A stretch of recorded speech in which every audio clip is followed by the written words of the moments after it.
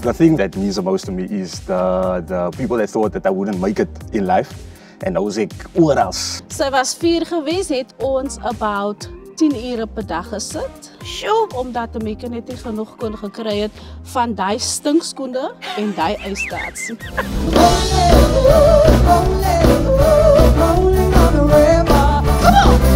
Kyk Studio 3 elke donderdag om 10:30 op Kyknet en Kie.